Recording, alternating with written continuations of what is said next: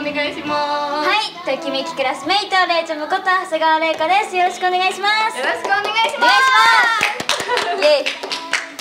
なはいということであの今週も六本木にあるわちゃスタからお届けしたいと思います、はい。あのですねこの番組は毎週木曜日夜7時から、はい。私たちサンミュが生放送でエンタメニュースとか CD ランキングの情報をわちゃわちゃしながらお届けしていくぞっていう番組です。はい。そういう番組ですはい、ね。で来あの来週じゃない先週はですね、はい。うちのメンバー最年少の、はい。シェニャンこと新原セナが遊びに来てくれて、これねちょっと見てこれ見ました？皆さんニュース。うんいいね。あのデコ丼ね。いいね。ドキドキするね。なんかおでこをくっつけて熱をあるかどうか確かめるっていう。うわデコ丼っていうね。違うよそんなのじゃ熱何度かわかんないよ。そのドキドキを味わうのがそうだよね。そうだよね。この距離感をね。いやうちもそれはきっとドキドキするよ。今度してありますよいい。えしてくれんの、ん。ありがとう。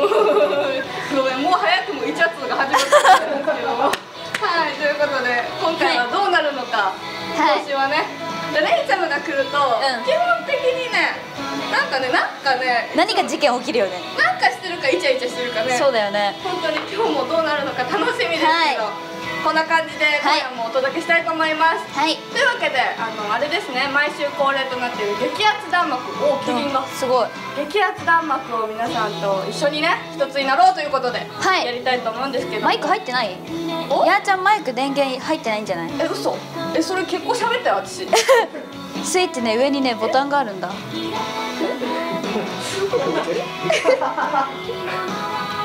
あ？何これあつかないです。恥ずかしいわ。なんかこれつかない。えなんでとかへんの？これ。あついた。ついた。喋れた。聞こえますか？めっちゃめっちゃシュールな絵やったけど結構な時間。はい聞こえた聞こえた私じゃあ今まで喋ってたら全部聞こえてなかったってことめっちゃ切ないギリギリここに拾われたかもしれないありがとう。はいということで、はい。まあギリギリねあのニュース読む前でよかったですね。よかったね危ない危ないはいということで、なんだっけ激アツ弾幕、はい。やりたいと思いますけども、はい。初めて見る方もね多分いらっしゃると思うのではい。声が突然大きくなります、ね。そうですね。そうだよね。はいということで、はいあの私たちが私たちが私が落ち着いて。大丈夫かい？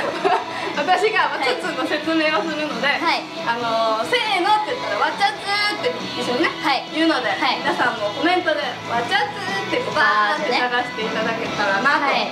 思います、お願いします。ということでじゃあ行きますよ。リズミカルに行きますからね。リズミカルね。リズミカルに行きますからね。はい、行きますよ、はい。皆さん準備はいいですか？イエイ。イエイ。行きますね木曜夜7時はサンミュの時間。みんなと一緒に過ごす時間。今夜も一緒にわちゃわちゃしましょう。いきますよ。せーの。わちゃつどうだ？きたー来た。来た来た来た来た来た。えなんか今日一緒になんかね今日すごいね。前見た時より多い気がする。お。パワー。いいね。はい。って感じでね。皆さんあはい。りがとう、ありがとう長いね今日は。ちょっとすごいすごい。はい皆さんありがとうね。長い。長いですよ。はい。はい皆さん今日もありがとうございます、はい。ということでじゃあ一つ目のねうコーナーに。んうん。やーちゃんマイクね近づけてって思って。またもっと上だって。それでは一つ目のコーナー。それでは一つ目のコーナーに行きたいと思います。はい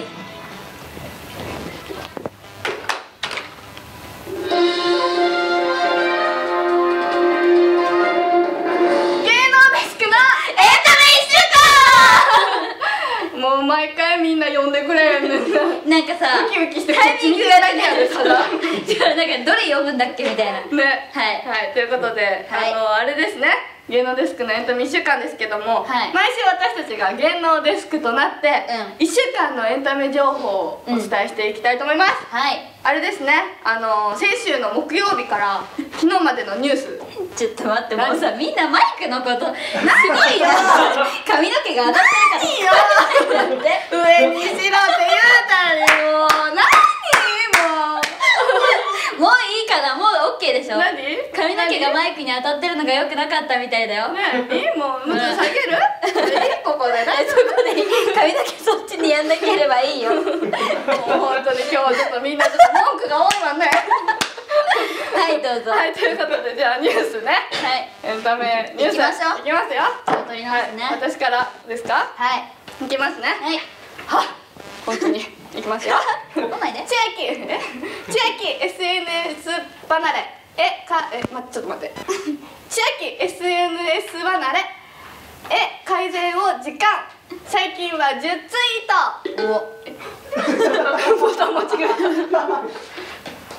はい。ということでタレントの千秋が25日自身のブログを更新。ブログ、ツイッター、フェイスブック、インスタグラムと4つのソーシャルネットワークサービス SNS を使いこなし普段から依存気味であることをこう公言している千秋だが先日やめる減らすと決意したところで効果が少しずつ出てきたと改善の兆しがあることを明かした、はい。そもそも書くのが好きで豆だから楽しくてやりすぎて結果どんだけスマホスマホじゃうどんだけ iPhone 触ってんのってうん。あのことからなので、はい。あの触ってんのとかからなので、うん。つまり好きなのに別れなきゃいけない恋愛のようなだから別れ方が、やり方が難しい、はい。ねアイデアが必要とし、うん。ツイッターからログアウトして再度ログインを面倒にする措置を紹介、はい。多かった2011年頃は 1, が1日50ツイートがとかがあったけど、はい。少しずつ我慢して減らして去年にははい。20ツイートくらいになり、はい。最近は10ツイートくらいに減りましたと。喜んだそうです。へえ1日ず10ツイートですけど。10ツイートですけど。最近はね。最近。やーちゃんもねやーちゃんっていうか三流個人も。最近ねツイッター始めましたけど。始まりましたけど。やーちゃん結構つぶやいてるよね。そうね。私はあれですね。あのアニメがやってる時す間帯は。ごいよねその時間帯のやーちゃんのツイートの量。実況ですねアニメを。ね。ツイッターでだからこの前ついつい流されちゃったよね。で見たって言ってもん見ちゃったよね。そうそう。もそんだけ言うんだったら見るよって思って。やろ？荒ぶるツイッターやから。そうアラベルツイッターそうだか荒らチャンネル変えてああこれかと思っていきなりさそのちょうどツイートねしてたやつあの水着のやつ突然放課後のプレイヤーですね。そうそう、はい。なんかわかんないけどチャンネル変えたらいきなり水着の女の子たちいっぱいいてえどうしようと思って 何これ何でこの状況って思って。そんなあれよあの怪しいアニメではないですからね皆さん。そしたらそ速攻終わっちゃったから。そうねちょっと後半やったかなあれはね。そうだよね。でもレイちゃん的にはさはい。なんかツイッターどう？なんかあんまりさこのタイムラインみたいなのがあるやん。うんうん。あれにあんまりちょ出てこん。違 う流してるんじゃないの？でもなんか少ない方よねどっちかっていうと。どちらかといえばね。何ツイートぐらい？昨日は23ツイート。少な。で多い時は多いんだよ。少な。多い時多い時はうなんつ？んでもなんか一回荒ぶってたよね。一回ねあのね夜中にサッカーやってた時に。荒ぶってたね。そう私が多いだけらしいわえでもどうなんやろ多いやシリーズも多いでしょ。シリーズ多いな。もう LINE かよって思うもん。ほんまなんえ一緒に住んでんねやろみたいな。ね。ね 本当ドダッチがセニャンがとか。そうすごいなんか仲良しやけど、うん。いいけどでもミスも多いからね意外と。嘘？えお多い印象はあるけど。本当？イメージ？ご飯ツイートしてるから。あご飯ツイートか。だから必ずするっていうのはあるよね。必ずツイートする内容があるけど。ハルルも多いもんね。ハルルも多いね。考えたら酸味多いのかもね。多い方だよ多分レイちゃんもちょっとレイちゃんからの説得力がないけど。嘘。でもねあの皆さんもフォローしてない方は酸味もぜひちょっとちょっと荒ぶってる人も何人かいますけど。るけどそう。ぜひねあフォローのなんかフォローしてください。はいお願いします。お願いします。じゃあ続いていきます、博多華丸大吉すごかな、えー福岡県人会を再現。お笑いコンビの博多華丸大吉が26日福岡出身タレントが作る豪華テレビ芸能界を支えているのは福岡県人だに出演、俳優陣内孝則と富田靖子とともに司会を務め自らや陣内が発起人となって東京にある福岡福岡名店で開催している福岡県出身のすごかなタレントとの食事会、福岡県人会を番組内で再現する、はい。今回の会場となるのは品川博多もつ亭うんえー、キラリサブ MC をパンクブーブーの黒瀬潤が担当するほか、はい。武田鉄矢藤吉久美子一行かばちゃんカンニング竹山、はい。原口秋政ロバートの馬場馬場さんバッドボーイズえー、と重森さとみ AKB48 の大谷静香、元大英ホークスのかカズ山本が来店ゲストとして登場、えー VTR 出演として吉田よ、えー氷川きよしまた黒木ひとみらも祝電も寄せられた。はい。ということですけどすごい。豪華ですね。福岡出身タレント。あこんなにね。多いんだね。多いんだね。結構いらっしゃいますね。豪華ですね。豪華ですよ。でちなみにですね、はい。県民性ってあるっていう質問があってですね。そう新潟も奈良もねそうあるんですけど。二つ調べていただいて。じゃあ私が新潟の発表してあげる。あお願いします。じゃあレイチャブの新潟県民のね。はいあの県民性ね。県民性はい。はですね、えー新潟女性はですね明るく控えめに見えても、はい。芯は強く、はい。外見も女性らしいというより男っぽく見える。行動力、うん。バイタリティがあってたくましいタイプが多い。お金にも細かくなく付き合いやすい。どうなんだろうね。でもどうやろう。あのあれなんていうの？たくましいタイプっていうのはちょっとわかるかもでもそれはうちがでしょ。でもそうや新潟女性の。でも周りにそんなたくましい子いたかなとかさ。代表じゃない？あ代表？新潟県代表。そんな大々的にしていただいていいのかな？新潟県代表のそう。あそうなの大か津はこんな感じとかね。なるほどね。あとはですね新潟県あるある。なはい。あるあるはですねなんとなく言葉に濁音が入っている。そう？そうなのかな？レイちゃんは入ってるかどうかもわからない。入ってる。そいやいやいやそこ？そこは関係濁点がない入ってるか噛むかいやいやいやいや。ななんやろ濁点多いかな？どうなんやろなんか私方言をいまいち知らないから新潟の方言。あー確かに。方言方言って何？あるの？ああなんか言うやん。何何？なんやっけ？なんか言うやんな。なんかとさ。そうなんさとかそのさがつくのが新潟あのっていうのはあるけど、うん。なんか方言っていうかさ、新潟の方言はなんか例えばセニャンとか鹿児島みたいなそういう英語みたいななんかわかる？英語？チョスっていう新潟のあの方言があるんだけど触るっていう意味とかもう英語みたいな。チョスって感じじゃな。い なんかそういう方言があるんだけど いまいちそれ調べて知ったからその方あ言そうなだからなんかさ、はい。あのおばあちゃんとかは使ってるよみたいなのとかもあるんじゃないの？なんかおばあちゃんは使ってるってのはあるけどなんかちゃんとわかるやつ。うん誰が聞いてもあそういう感じねってわかる。なんかただなまってるだけというか語尾がちょっと違うとあか。あなるほど。意味はわかる総員歌え？総員歌ってわかりますか？あれ？そうなんかと？そうそうなんだみたいなやつ。あれ総員歌って。方言じゃない？方言なのかな、うん。なんかわかんないけどへえあんまりねわかんない。でもないもんね方言。あんまり方言わかんない。さあしかないよね。さあなんとかなんさ。なんとかなんさって言っちゃう。あ間違えた。なんとかなんさ。そんな言い方しないで。これはもう悪気がある。なんとかなんさ。じゃあいいよ奈良のやつ言ってあげるよ、はい。奈良女性。はい。我慢強いしっかり者。そうかな。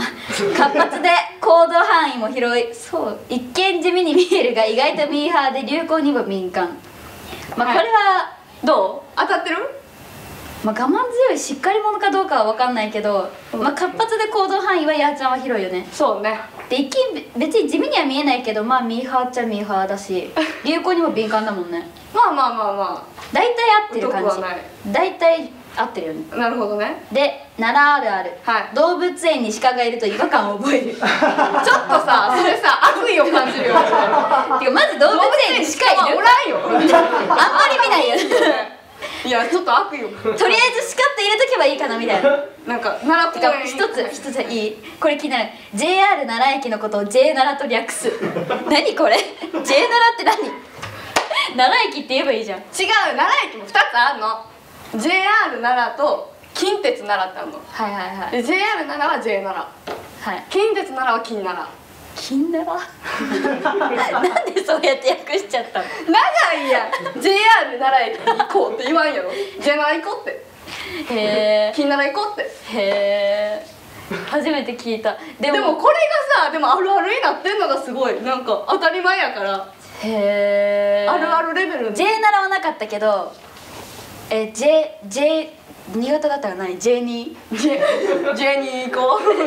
2駅だった。うちは、うちは駅駅そこの駅しか使わないからうちはもう駅としかしか呼ばないけど、あの駅を電車を使って登校する子は、うん。地元の駅とその新潟駅を使うから、うん。新潟駅のことは新駅って言ってた。二駅？新駅って言ってた。二駅？多分新駅って言ってた気がする。二駅って略す？いやいや J ならの方がおかしいでしょ。二駅って？J ならって何だって。J ならじゃない。J ならやから。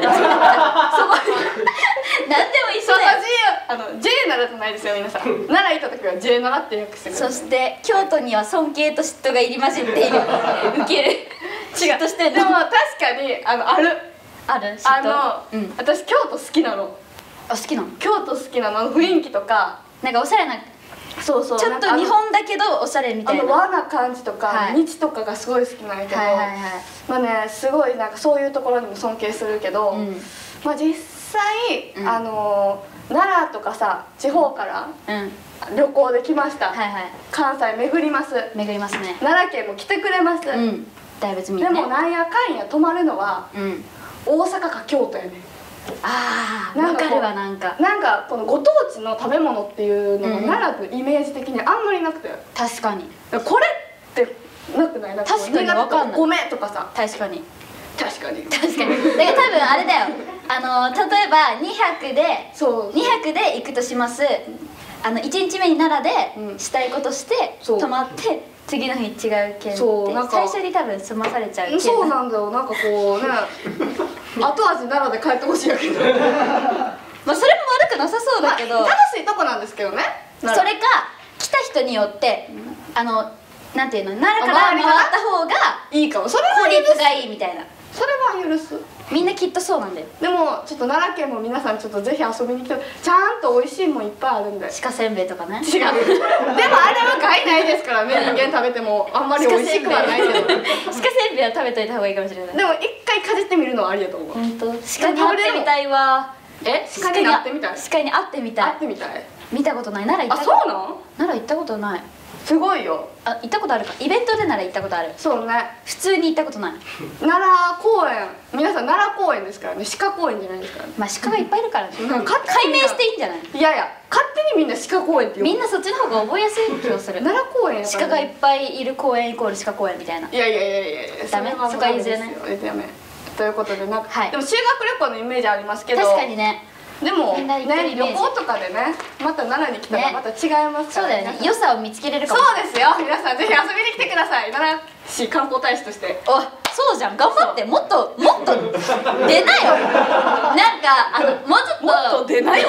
あの午後からイベントある人が午前中奈良行って私奈良県民のあれですって言ってもっとアピそんなールして距離違うやろでももっとね奈良押してこそう。行くわ奈良にまた。うもう毎日名刺持っとかないと。そうね。ちゃんと持ち歩くよ。頑張ろう。はい、ということで、じゃあ続いてのニュースいきたいと思います、日本最大級のネットの祭典、はい。ニコニコ超会議開幕。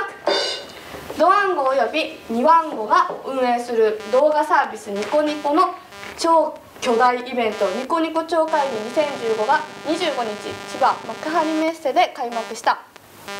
昨年はあの2日間ではい。会場来場者12万4966人。ネット来場者数、えー、759万5978人を動員した同イベントもはい。今年で4回目。お。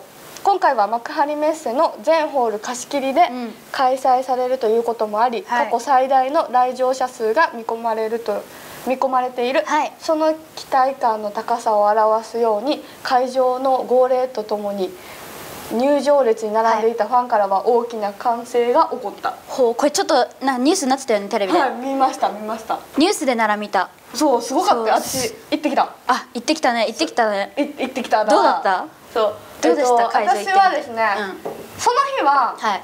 あのー朝っていうかお昼に、うん。あのー池袋のニコニコ本社でうん。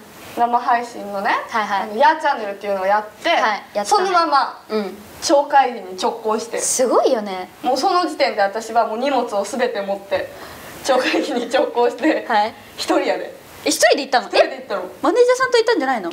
後から来た。ああそういうことか。だから一人で行ってはい。一人で着替えて一人でコスプレの なんかあのコスプレする人は嘘でしょコスプレいいよ。コスプレする人は、はい。あのーコスプレの登録が必要なのえコスプレ登録っていうのが必要で。スタッフさんなんか声漏れてますけど「へーってえーってねそうコスプレ登録っていうのが必要で、うん。入場前に、うん。あのーそのコスプレ登録をしなあかんねんけど、うん。でコスプレ登録してそのままコスプレに着替えあのコスプレしてはい。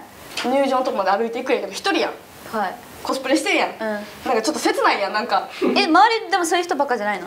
えでもいあのもう入ってる人は多いけどあ途中から行ったからなるほどね。あのまあその道はまあまああの多かったけどそのぎっちりって感じではなかった。なるほど。まあ中をね一人でこう歩いていくわけですよ。ほんで歩いてる途中にカバンがちぎれるあそれ一人で行った時そう。だったの？でバーってなる。一人でコスプレしてるやつが道でこうやって集める。切ない。でカバン片っぽなんかがないからこうやってカバン持って歩く。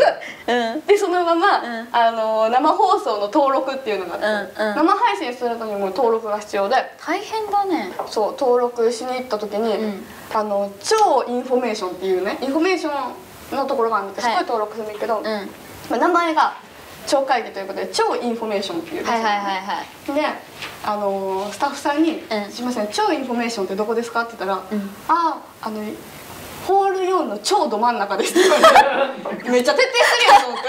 あそういうことね。そうそう。いう蝶ね。そう。で登録してそのままね、うん。歩きながら配信したりとかはいはいはい。してましたね。でもどう？配信は楽しかった？楽しかったよ。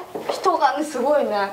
すごいよね。やっぱり多いよしかもなんかこう、ブースごとに、うん。なんか相撲ブースははいはい。土俵作ってたりとか、あ友達あの言ってたお相撲さん。の？お相撲さん好きなお友達。え言ってた。そうなんや。そうそうそうそうそう。そう言わないことじゃなくて本当本当に本当に。予想外だか。ら で土俵をね作ってたりとか、うん。うん。あとはもうステージもねいっぱいあって。あれじゃない？これあれ？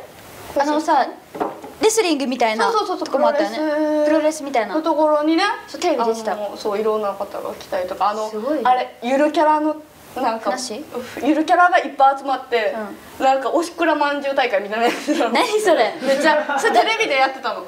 え？それ嘘？その時は私見てなかったけどそれやっててめっちゃ見たかったの。えどういう対決なんですか？倒れたら負け？なんかもうみんながとりあえずあのリングの中にうん。ゆるキャラたちがめっちゃ入ってて、うわーってなってるだけ。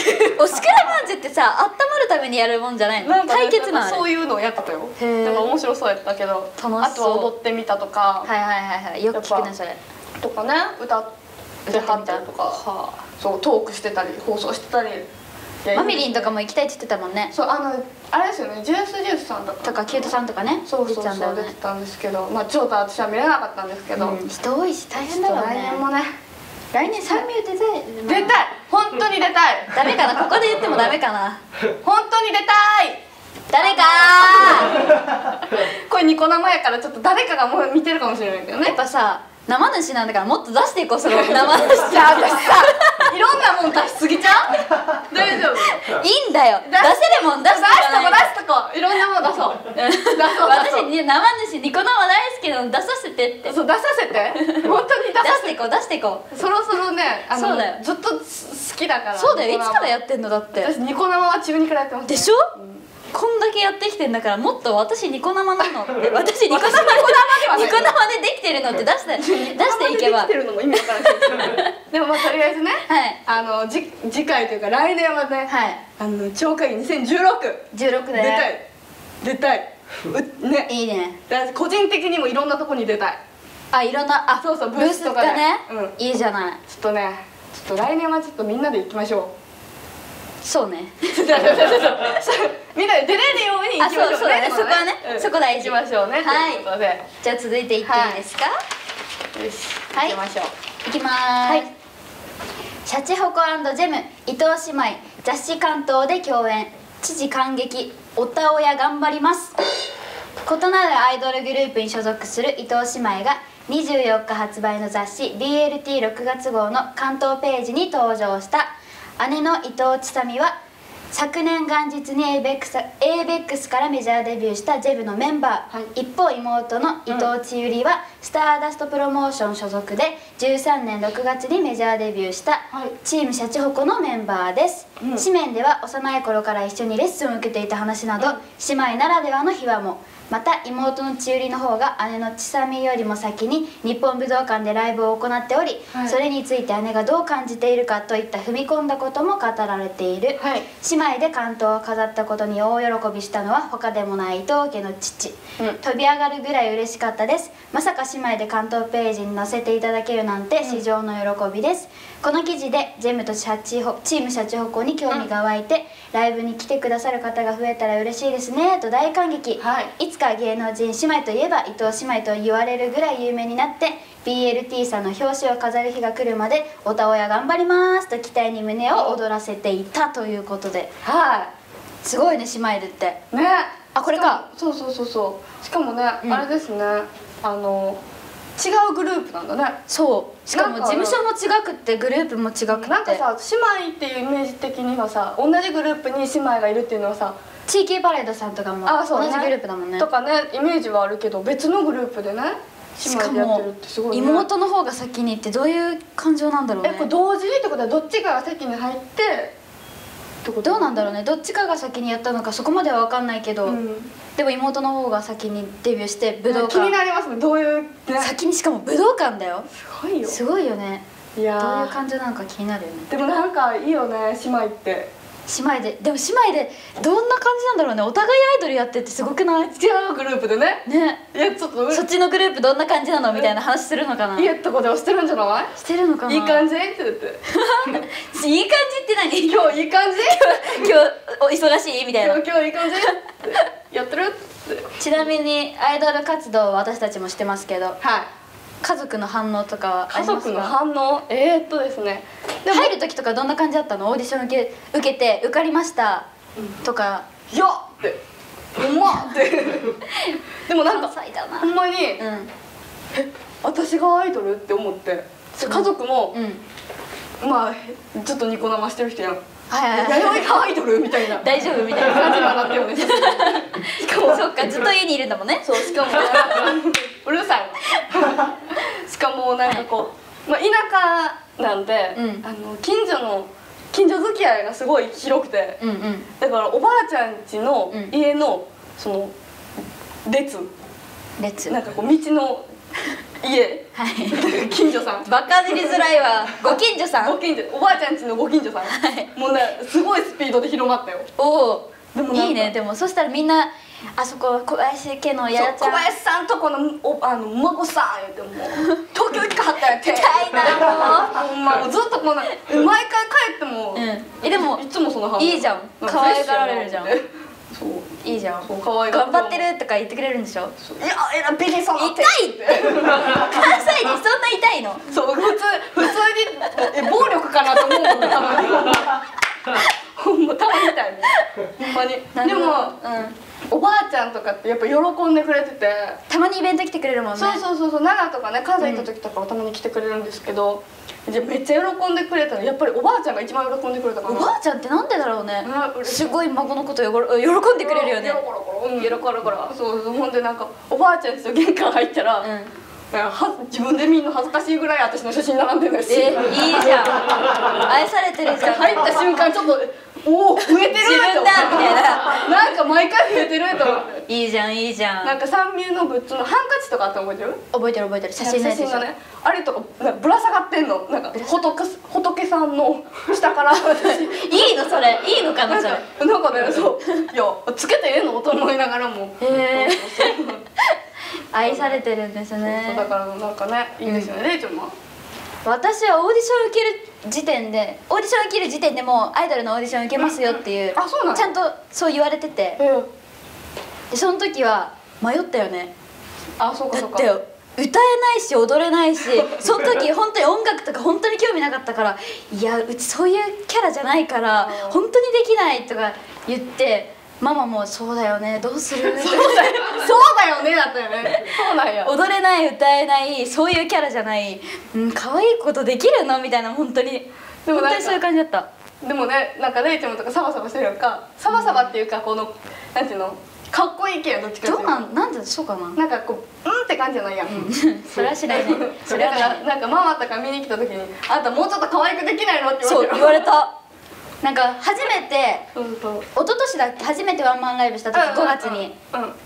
ラワンマンライブした時にママ見に来てて後で喋り方とかもっと可愛くできないの？あれそんなしゃべ可愛くなかったかな？精一杯の可愛さやね。そうそう。自分的には精一杯の可愛さ出してるんだけどもっと可愛くできないの？確かにね。ダメ出しがね。そうママさんのダメダメ出し。出しがね。そうそうそう。でも最近は大丈夫だかな？もうこれがもう普通やもんね。そうもうこれが普通なんだよ。これがレイちゃんもやからというだっていきなりもうこうやり始めたらびっくりするでしょ。いろんな人がびっくりするよ。ほんまにびっくりするよ。もうこれでいこうと思って、まあねでもみんなはちょっとね三味数だからいいっていうところもあるからそうだよね全員個性がバラバラでね。本当だよ。本当に。はい。いいということでまとまって。るじゃはい、ね。じゃあ次あバラやっちゃうかなバラですけどはい。じゃあ続いてのニュースいきます。はい。はい。橋本環奈 CM でバカっこいい技に挑戦。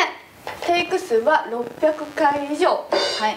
橋本環奈が日清食品カップヌードル新 CM「バカっこいい編」に出演、うん。現在 YouTube など動画サイトなどで高校生の間で流行しているバカっこいい技に挑戦し難易度が高い6つの技を披露している。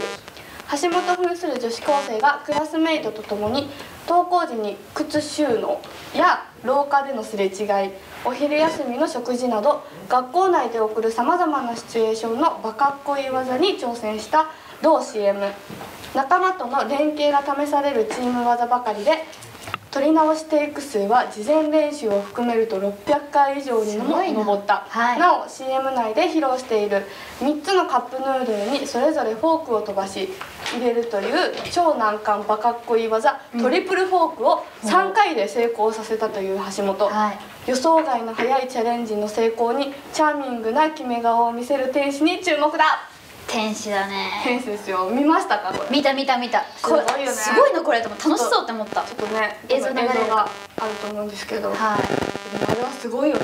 あれでもさたまにさ、あ流れてるかな学生とかがやってるの見てさ、やってみたいって思うよね。ね。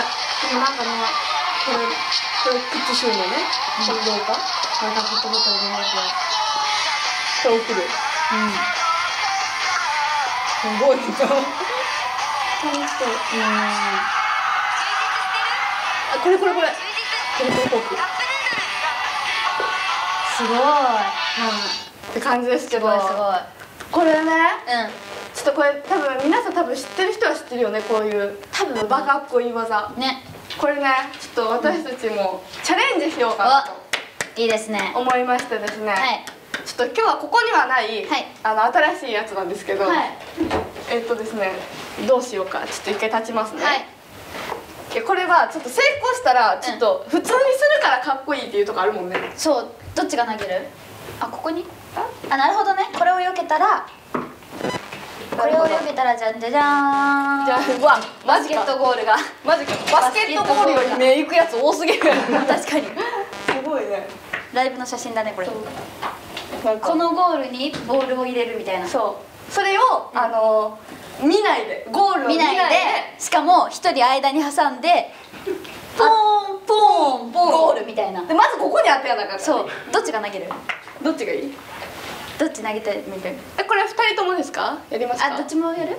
じゃじゃあ先投あオッケー。先投げるか。オッケー。げよっしゃ。ちょっと待ってよ。ちょっと気合い入れるな。え私もこれ頭動かさなあかんの？あ座ってか。え私もさこうやらなあかんってこと？えちょっと待ってわかんないんだけどえこうってこと？高さ見て。えこの辺？いや高めの方がいいんじゃない？あこの辺？ゴールと同じぐらい。ちょっとどの辺なの？ゴール。近すぎる。えこんな高さ無理やって。言っていい？え？嘘。あじゃちょっと待って。いや私頭こうやった方がいいってこと？動かん方がいい？動かん方がいいかも。あこうはめっちゃ怖い。いくよ。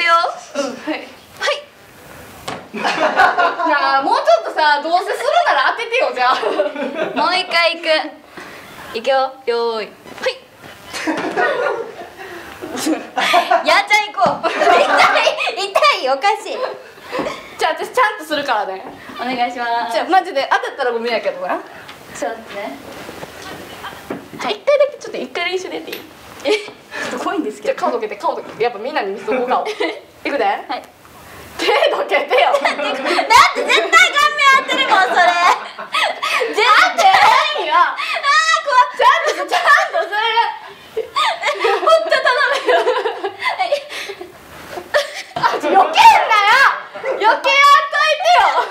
余けたら意味ないやん。余けたらやってる意味ないやん。当たってないからちゃんとやるから、はい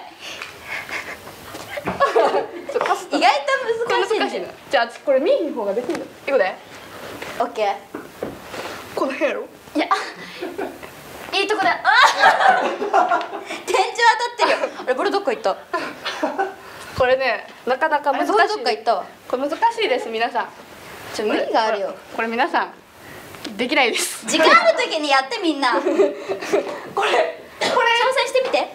これさ難しいな。難しいよだって。それはりょ600回もなるよね。ね。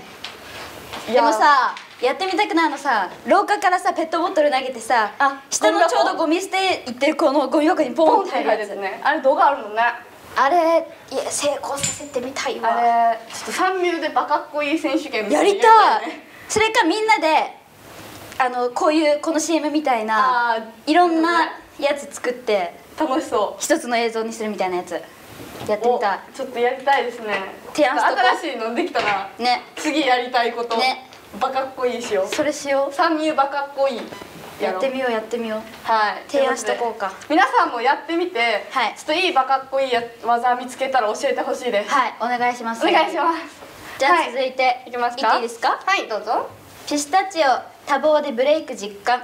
休みがない独特の喋り方と白目の変顔で人気上昇中のお笑いコンビピスタチオがはい。28日都内で行われた渋谷初初のご当地ビール発売記念パーティーにゲストとして登場、元ホストという経歴が話題の伊地ひ伊地知弘樹はホストを昨年7月に辞めてからバーとかやっていましたが今年に入ってからバイトを辞められたと現状を明かす、うん。週7でコンビニの夜勤をしてたという小沢慎一郎も、はい。同じ時期にバイトを辞めたといい。ありがたいことに今は休みがない。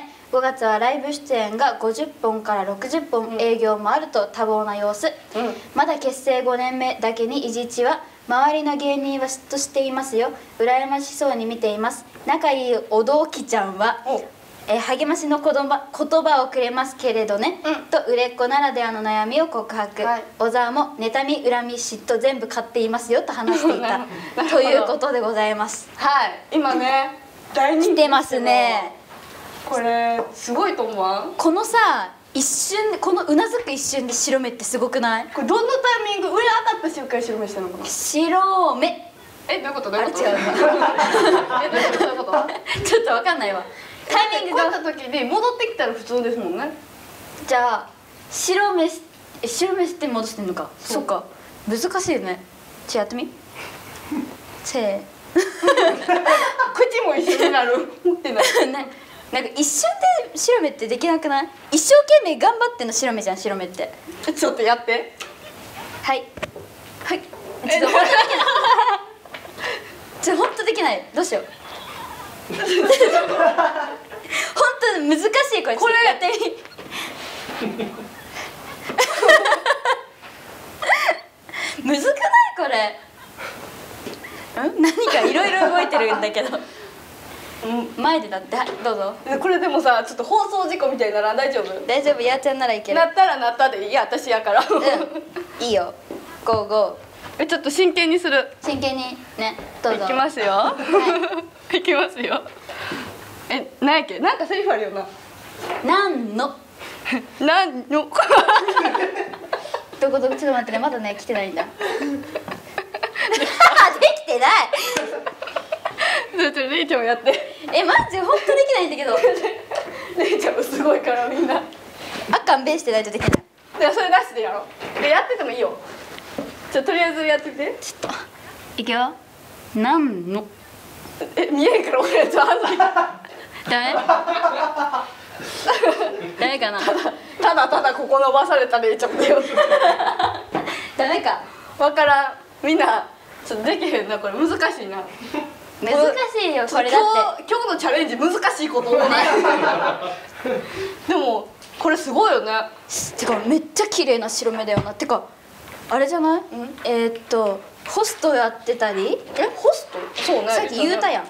ホストをやっすいません。いじちさんがホストをやって いはてで小沢さんが、えっと、バイトコンビニでバイト。いなるほど。すごくない？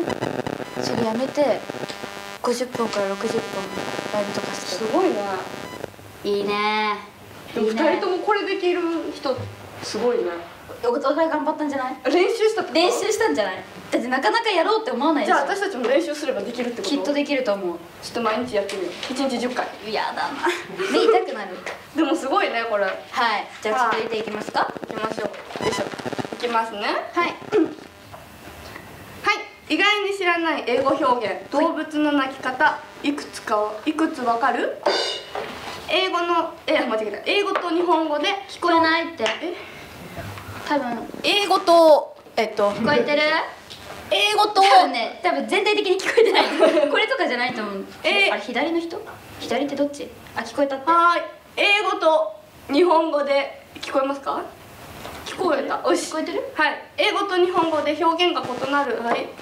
いいよ読んでて。えっと、英語と日本語で表現が異なるものはあのお数多くあるが動物の鳴き声もその一つ、えっと動物自体の鳴き声は同じなのになぜ大きな違いが生まれるのか不思議ではあるがネイティブスピーカーに日本の鳴き声を伝えるとそんな風には鳴いていないと言われることも。はい。そこで今回は英語で動物の鳴き声を紹介する。犬ははい。 bow wow。bow wow。bow wow。bow wow って鳴いてるってね、はい。で猫は meow。ミャ meow。ニャー日本ニャーオ。ニャーミャあ犬はちなみにワンワンじゃないですか。ワンワンだね。はい。そして牛は、うん。まあもうもうって言うけどーはいはい。海外では moo、はい。ムー。ムー。ムーって。ムー。ムー。ムーって面白いね。ムー。え？笑ったね今なんか、うん、面ムームーってすごいなと思って。うん。でちなみに日本語でパオーンとはい。表記される象の鳴き声はいはいはは英語ではこれといった表現がない。理由はうん。言葉で表すのが難しすぎるからとされているそうです、難しすぎるってなんだ？まあ、パオーンっていうのはさ、まあ、ずっとさちっちゃい時からさ絵本とかでもパオーンよ。パオンだね。確かにさ象の鳴き声聞いたらパオーンかなって思うよね。確かに。あれパオンって言ってないのかバなホーンみたいなさなんかちょっと激しくないですか？本物は？なんかボワーみたいな象が鳴いたところ聞いたことあるかな？なんかパオーンって感じじゃないの？そうだっけ？なんか じゃあ記憶にございませんもう象の鳴き声は。うなんていうのかな？なんかパーではないよねさすがにね。パワー言えないんじゃない？プワーみたいな。プワーみたいな。プワーみたいな。やつ。もういいわ。すごい。ということで、い。クイズやりたいと思います。このね鳴き声。これ。はい。鳴き声ですよ全部。鳴き声ねじゃあ一つ目。え？ネイ ちょっと待って一番下のが気になりすぎてまあいいや。これ最後最後えそうねネネイネイイネイネイネイって何？動物。ネイネイネイ猫じゃないでしょ？ネイ犬でもないでしょ？ネイは。ミャオが猫やからね。てか鳴き声がある動物って何だ？ネズミ。チュねチューはチューじゃない？ウだからちそれがまた聞き方が違うってことよ。あブナえ？ブーやろ？そりゃブーだよね。ネイ？動物？ヤギ？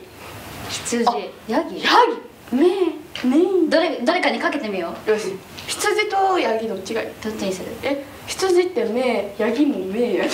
どっちも目だね。えっとじゃあヤギにしとあく。ヤギヤギ。じゃあヤギねえねえ。ゴー馬？馬ってなんだ？あれ馬の？あ馬ってさパカラッパカラってあ感じだね。確かにそっちのイメージ鳴き声じゃないよな。そっちのイメージのパカパカみたいな。あヒヒンやって。ヒヒンね。確かにそうよ。確かにそうやみんながヒヒンって言ってる。そっか。確かにねヒヒンパカラパカラ。でそっちのイメージの方が確かにね。強くない？パねいって。ねねえってこと？えねえ ってことだね。それきっとそういうことだ。でもう一個。い。きますね、おい oink。oink？oink。oink ってこと？ oink oink。oink oink。oink？oink。oink？oink。豚？えここれじゃな。い baa って。 baa baa。ブーと baa みたいな。あなるほど oink なんだオインクって。何？むずっ。オインクそれこそヤギでいいんじゃない？えバーはさカモとかじゃない？カモ？と鳥系ブーでしょこれ。ブーバーでしょ。ブーイコールバいや違うなんかガー英語でもブー鳥鳥。ガーガーって鳴く鳥。バーバーみたいな。ー ガーガー鳴く鳥いるかな？いるよ。あじゃあじゃあこれあお昼。うんでその前にオインクだよね。豚。じゃあいいよ。いいよ。豚にかけよう。えちょっと嫌やないいよ。考えていいよ。えオインクって何？えじゃあレイちゃんの上何がいい。私豚。えー、ちょっと待って出てこない。じゃんもう。多分これ豚やと思う。羊羊。羊。ちょっとこれ持ってて。二つ同時に。あこれこれは？これは豚。だよ豚。私これアヒルやと思う。いきます。あれ？もう何も言えないよ。上がオインクが豚で下が羊です。あでも私豚合ってるやん。ね。羊した羊か。オインクって何？オインクオインク。って。どっから来たのかすごい気になるわそれ。はい最後ねこれ問題。国家ドゥ 国家ドゥドゥルドゥ国家ドゥドゥルドゥっていう動物。国家誰ドゥドゥル誰だよ。ドゥ 国家ドゥドゥルそんな勢いのあると動物いるかな？いるんじゃないこれ有名？あ鶏答え出ちゃったね。結構みんな出てるな。鶏だって。でも鶏ってコケコッコやのにどうやってまあこれでいきますよ。オンドリ鶏のオス？なるほど。えオスとメス鳴き声ってちゃうの？工業ここえ何？お おだって。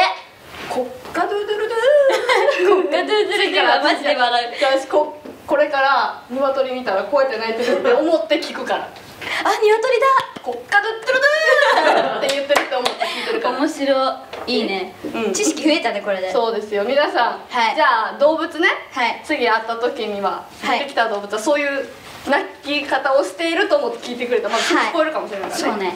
はい。ということでじゃあ続いてのニュースいきますか？いやニュースは以上でございあます。本当ですね、はい。以上でございます、ということで、はい。以上芸能デスクのエンタメ1週間でした。イエイ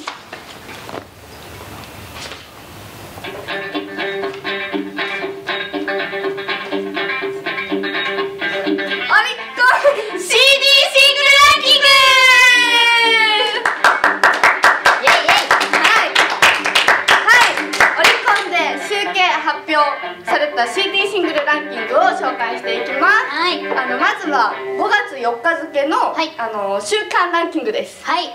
はい。言っていいですか？行きましょう。第10位。乃木坂46で「命は美しい。第9位。一十木音也四ノ宮那月でうたのプリンスさまっ。マジ LOVE レボリューションズ。クロスユニットアイドルソング。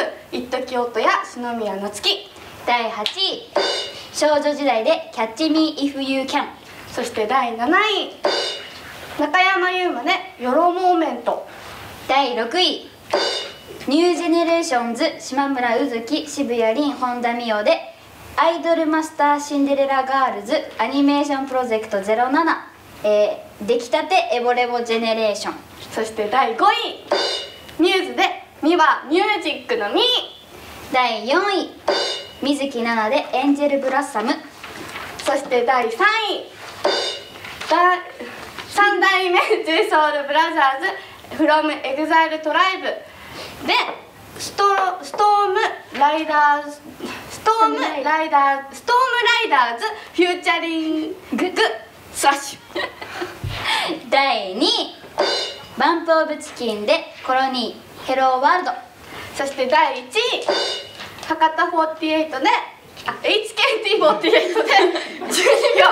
そのまま読みます。そう。フルで読みます。フルで読んじゃった。はい。はい。なんかそう言い慣れてる。そうだね。博多の。確かに博多だからね。はい。ということで、はい。あの HKT48 さんはですね、はい。デビューから5作連続シングルがね5作連続でシングルが1位。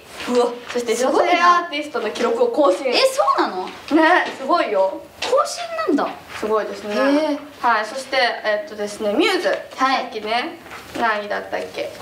えっと今回5位はい。なんですけども、はい。ミューズはですね10作連続でトップ5入りですね。すごいね。すごいよミューズ。あそうなん ごめんごめんごめん。なんかその圧に。すごいんですよ。へちょっとねいいですけどね、まあ、そんな感じですけど、はい。じゃあ続いては、はい。あのデイリーいきますか？行きましょうはい。じゃあ私からですか？はい。言っていいですか？はい。第10位。チョコタン電波組でパンチライン。そして第9位。西野カナでもしも運命の人がいるなら。第8位。インフィニットで24時間。そして第7位。美風藍。うたのプリンスさまっマジ LOVE レボリューションズ。アイドルソング美風藍。第6位。 LinQ でハレハレパレード。そして第5位愛子で夢見る隙間。第4位。フラワーで Blue Sky Blue。そして第3位。Perfume で Relax In The City。Pick Me Up。そして第2位。桃色クローバー Z で Z の誓い。そして第1位。平成ジャンプでちゃう All I Need You ですね。はい。はいということで。あれですね。あれ多いね。あの何？アニソン？そうですね。多いね。すごいです。今ちょうどねあの歌プリもねやってますし。あ時期的に？アニメが始まった時期ってこと？新しいのが。そうやってるっていうのが多かったりとか。なるほどね。あとはあれですよね。ミュージックの「ミー」っていう違う違う違うミューズねミュージックのみ「ミ」はミュージックの「ミ」っていう曲だから。あそうなんだ。うんそうそう。あのごあのミューズねあの、ですよ「ラブライブ!」も今やってますから。ラブライブねよく聞くな。はいもう大好きです。皆さん見てください。見てください。はいって感じですかね。はい。以上オリコン CD シングルランキングでした。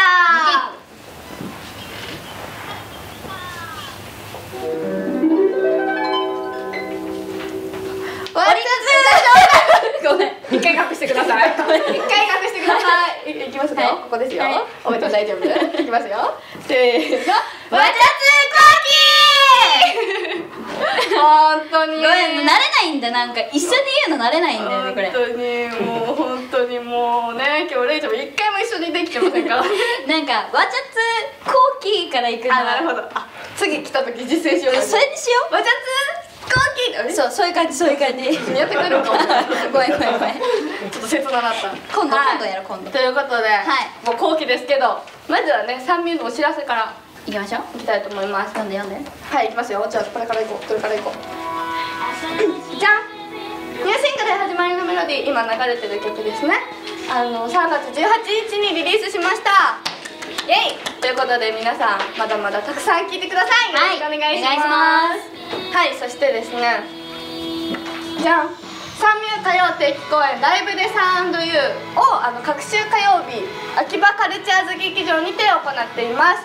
次回は5月5日ですね、あのダンスロックスっていうねテーマなんですけど、ちょっといろんな酸味を見せれるかなと思いますゴールのでデンウィークは三ミュート過ごすべき。そうだそうだ。待ってますよ。あのみんなで来てください、はいお願いします。はいそしてですね、はい。もう一つニコニコ公開生放送「もっと三ミューでいいじゃん」が月1レギュラーで行われています、はい。場所は虎ノ門にあるポニーキャニオン1階のイベントスペースにて行われますので、はい。こちらもねニコ生でも見れるんですけど、はい。あの会いに来ていただいて、はい。次回がね5月15ですね。5月15、はい。なでちょっと楽しい時間にしたいなと思いますので、皆さんよろしくお願いします。お願いします。はい。って感じです。三ミュのお知らせは。以上でございます。はい。あツイッターとかチェックしてくださいね皆さん。はいということでですね、あの次回はですね、はい。5月来週はね5月7日の放送にはなるんですけども、は先週ねはい。あの見てくださった方はちょっと分かると思うんですが、うん。この番組5月以降も続くのかはい。どうなのかはい。まだ決まってないですね曖昧な感じで。レイチャム週間みたいな。いや嫌やな わちゃわちゃは変えた封筒がうわこれ開けたい。ちょっとうちに開けさせてよ。いやいや。うちに開けさせて。ってお願い。やーちゃんにドキドキしてほしいいからやもう開けたい。お願いお願いお願い。お願いお願い。もうやーちゃんのドキドキしてる顔見たいもん。もっと綺麗にですよ。ちょっと開かないかな どんだけ硬い何かな何でつけたんですか？開かないんだもん。そんなやぶらな赤い封筒ってある？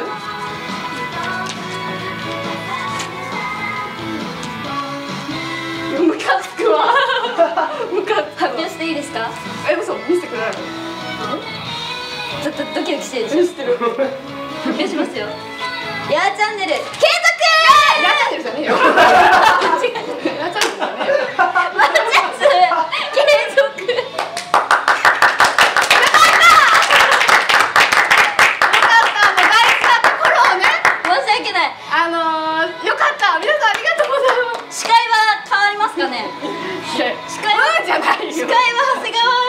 な。りますかね。いやいやこの後すぐに番組えー枠を作ります。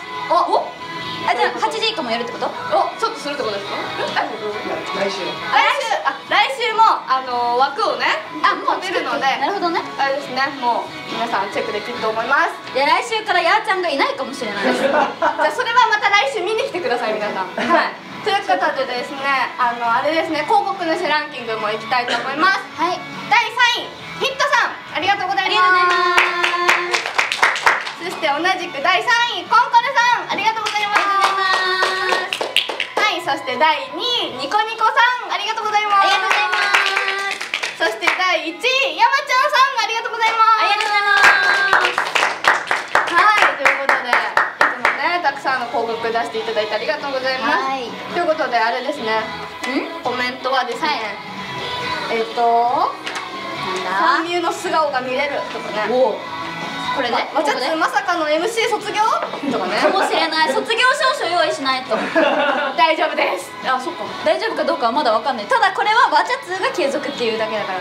来週からスケジュールに木曜日のスケジュールはやばい。わちゃじゃないかもしれない。やばい。木曜日のスケジュール来るたんびに私ちょっと泣きたくなるってこと。そうそうそうそうあえー。私絶対じゃなくなってしまっあー初代か。ってこと？た初代初代。2代目ね。そう。いやいや私はまだまだわちゃつやりたいですよ。ヤーチャンネルもさ、はい。めっちゃやっちゃえば。ヤーチャンネルってヤーちゃんがやればいい話じゃんだって。違うやん違うやん。それはまた違いますよ。それはまた別か。でもまたいいつか私はわちゃつとやチャンネルのコラボをしたい。おおとかねいいじゃん。そうなったらじゃあこっちはヤーちゃんじゃないってこと？違うよ。だからなんかこうなんかこういろいろしたいないろいろね企画ね。勝手に想像しても企画いいんじゃない？考えちゃえといようことで、うん。来週も私がいるということを皆さん信じて願って。見に来てほしいですけどはい。ね。継続もういつまでもじらすね本当。あえ何が？継続って言うたけど誰やねんみたいな。さ 誰や誰が誰ねやねんみたいなやつさやっぱここはちゃんと読めるちゃんが。いやいやいやいやどっちもどっちやで。いやいやいまだにね読めてない人に言われたくないですよね。ね。漢字読めないなんて恥ずかしい。ごめんごめんごめん。いやいやそんな落ち込まないで。落ち込んでいや落ち込んでへんっていうのもなんかでもまあまああれですね。来週。はい。楽しみですけど、ね。ょっとドキドキしながら来週の私のスケジュールもね。はい。あのちょっと楽しみにしていただいて。面白いうわー怖っ。はいしかもメンバー全員わかるじゃんスケジュールって。そうやん。うわえ次私やんっていうのと私終わったやんっていうのとあ変わったんやっていうの。周りのね。いやこれ切ない。やーちゃんにどう話しかけていいかわからないメンバーが出てくるよね。そうそう。な何人か出てくるやつとねやーちゃんやーチャンネルがあるじゃん。大丈夫だよみたいな。大丈夫じゃないですってなるよ。そうなりそうだよ。はい、やっちゃん木曜日開かないように頑張ります。そう頑張ろうはい、ということで来週もね、うん。ぜひ私がいることを信じて、はい。19時からわちゃつ見に来てください。はい。ということで皆さん。あ、はい。そうだ上に、ん。あのあれですねチャンネルページへのリンクがはい。出ているんですけど、こちらは、あのタイムシフトがでタイムシフト予約がはい。できるようになっているんですけどそれを押していただだいて、うん。右上にお気に入り登録っていうのがあるのでそれを押していただくとワッチャツーとかオリコンのねニュースとかをね、い、ろいろ見れますので、はい。皆さんそちらもぜひお気に入り登録もしてみてください。はい。って感じですか？感じですかね。楽しかったね。楽しかったね。ちょっと疲れた。そううん。あもうこれ最後のが一番疲れた。なんか心が疲れたよってねなった。体力的にじゃなくて精神的に疲れた。だからねあとはねいろいろやったんですけども挑戦してみたいね。いろんな挑戦私たちしていきましょうよ。しよう。なんかメンバー来るたびにそれぞれのなんかいいじゃんいいじゃん。なんか違うじゃないですか。雰囲気というかワッチャツの雰囲気が。あそうね一人ずつね。じゃあレイちゃんはうん。初回から何かしらやってるやんし本当だよね。もう初回で化粧厚化粧みたいなそうだよ。なんかほっぺ真っ赤みたいなしたよ。やつとかやりましたけどだからちょっとレイちゃんといろんなことにチャレンジしていきたいとし思う。よう。いいよ。はい受けてたそうじゃないか。あじゃあやっていきましょうねはいお願いします。はいって感じですかね。はい。ということで来週の木曜日19時からまた見てください。はい。せーのまたね。またね。バイバイ言ってくるかと思った。またね。